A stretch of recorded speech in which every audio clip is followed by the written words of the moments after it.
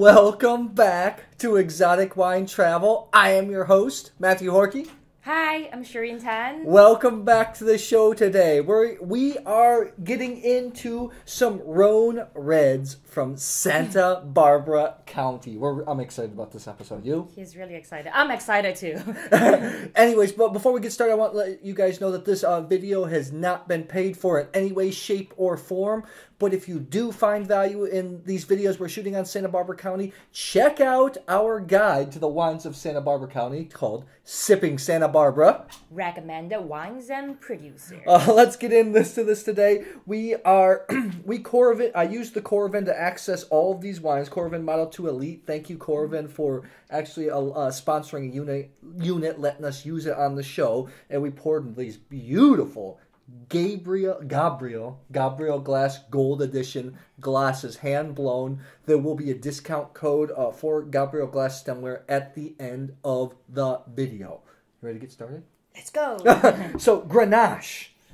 Ooh, I love this grape. I think more than you do. Probably.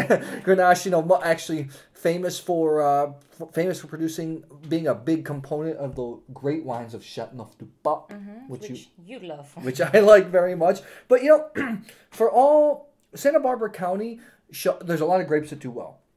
Probably Chardonnay and Pinot Noir are the most famous in the area, but Rhone grapes, especially Syrah and Grenache, gaining traction, right? Yeah, exactly. Especially, actually, the other day we were talking to our Croatian wine writer friend, and when we mentioned that we're doing an episode about Santa Barbara, or uh, an episode series, he said, "Oh, the Syrah there is great," and I was really surprised. I mean, I thought I thought he would say Pinot Noir or Chardonnay, but it looks like Syrah and also Grenache. We heard about it quite a couple of times from other people as well. Looks like both grapes are gaining traction. What if Miles would have been crazy and sideways about Syrah Grenache? Who would have known how this? Let's get into the, some of the wines today. The first one I am very excited about. This is the Lumen Grenache 2015, Santa Barbara County. Uh, this only 600 cases are produced, uh, aged in neutral oak. Uh, made just in the style of Pinot Noir. The winemaker Lane Tanner is one of the first independent female winemakers here in Yeah, Santa Barbara, Barbara, right? yeah. Uh, she just started uh, working with this label. This label is fairly new, crafting some nice wines at low prices. I'm excited to taste this vintage. We have not had this vintage, right? Yeah. 30 US dollars. Let's give this.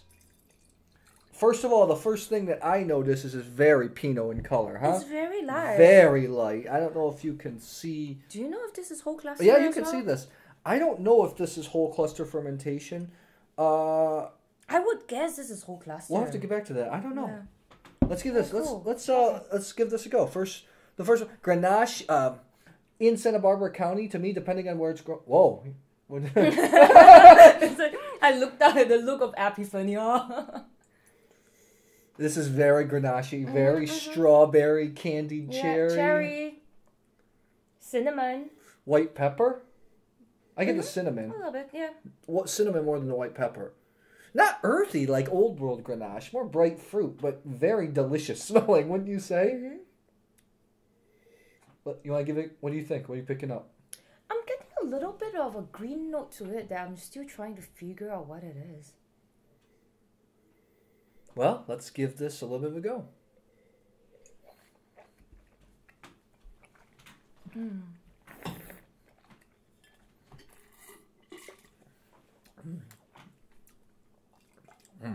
Nice, smooth in the mouth with good grip and tartness. This is a wine that's going to appeal to a lot of people, right? It's going to be a crowd pleasing wine. A lot of juicy red fruit. Uh, tannins are easy. Tannins are easy going. Uh, I get a little bit of a white pepper note for pe- there's there are complexities here for some people that want them. Yeah. But what, what else do you think? The finishes has a little bit of rose note to it as well, which I really like. What are you are you okay on this wine? You really enjoy and it's well made wine, but for your palate profile, you liking it a lot or Mm, I'm happy with it. okay? Yeah, but I still think that can be greater. Yeah, I still think this is very good from Lane. Uh, good job. She's got crazy, colorful hair. Uh, for me, I'm 4.0 on this wine. I think it's very good. I think for me, it's more of a crowd pleaser. I think that everybody's kind of gonna kind of like this wine. Mm. We move on. Do you think there's volatile acidity in this? I don't think so. Okay. Let's move on. Famous producer, Very famous, new vintage. This is the Beckmen Vineyards Grenache from Santa Ynez Valley, 2016. I, 900 cases produced. Um, two different clones. I know this was I know this was aged in neutral oak. So let's give this a go. He Beckmen is more famous for his Syrah. I'm excited. I have not had the 2016. Uh, Beckmen wines are big, fruity, and bold. Yeah. Uh, I'm excited because I heard 2016 in Santa Barbara was a was a year where there's a little bit more acidity in the wines. So let's give this a go. I believe that in this vintage, most of the fruit from this came from his uh, Purisima Mountain vineyards, which are biodynamic. Let's give this. A This is exactly the Beckmen that I remember. oh yeah, it's like this is ripe, ripe, The- ripe fruit. the intensity really hits you in the face. You can, you, I can almost taste or smell the fruit flavor, and it travels up my, my to my forehead or something along that line. It's For me, like this is like extremely ripe strawberry cherry. Wouldn't you say? a ton of cherry, cranberry. Hmm. Some Let's- brown oak smell to it too. This is quite complex. This is 32 US dollars. This is kind of an entry level offering. Um, maybe brown sugar. Let's give this uh, let's give this a little bit of a go. Mm.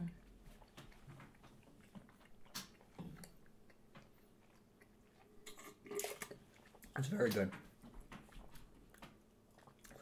I underestimate. I I have to say, um, some of Beckmen's entry level wines, I would Beckmen Vineyards, I was not fans of in the past. you like this? Fruit intensity. Licorice. I get a lot of licorice and white pepper on this. Uh, this has more tannic grip than the Lumen. Mm, this definitely has pepper notes to it. Mm.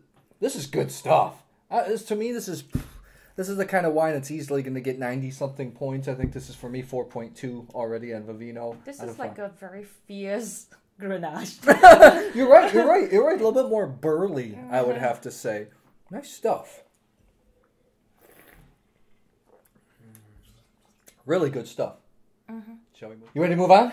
yep. Let's move on. So we have a wine that Shireen, a winery that Shireen is crazy mm-hmm. about.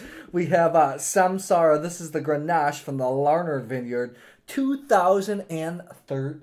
Yeah, I've loved every single wine by Samsara. Samsara, so basically, yeah, you love, you love these wines. Uh, Samsara started by Chad Melville, who has moved out back onto his family vineyards, Melville. Uh, it's now owned by Joan and Dave Sukutak, if I can get that right. And they brought on they brought on Matt Brady, who was the former winemaker at Jaffurs. And they were longtime mailing list subscribers, and they plan to keep the same style uh, for Samsara wine. So let's give this a go, shall we? Shireen is a big fan of the Samsara single vineyard Pinot Noirs, especially the Kargasaki vineyard, right? Uh, let's give this a little bit of a smell here. It's so Wow. interesting. These three wines are really different. These are all totally different. This is this is this is Santa Maria though. This is from Santa Maria Valley. okay. For me, Santa Maria wines are leaner, a little more acidity, tart. elegant. Yeah, Yeah. tart. This is like Australian fans will like this, but it has it's it's not a simple wine. It has complexity. This is uh, more old worldy. Wouldn't you say? Yeah, this is in terms of body, the mouthfeel. Um, I haven't tasted it, right? But but I would guess this is somewhere in between the two. For me, I get a lot of pepper and Cool Whip. Mm-hmm. It's almost, mm-hmm. it's almost like if I have yeah. strawberries with Cool Whip and then I put white pepper mm-hmm. over the top of it with a little bit of earth. And this really has the salinity that I get from Santa Barbara County, right? I Like, get I- mint as well. yeah. Oh, I am very excited to taste this. Let's give this a go.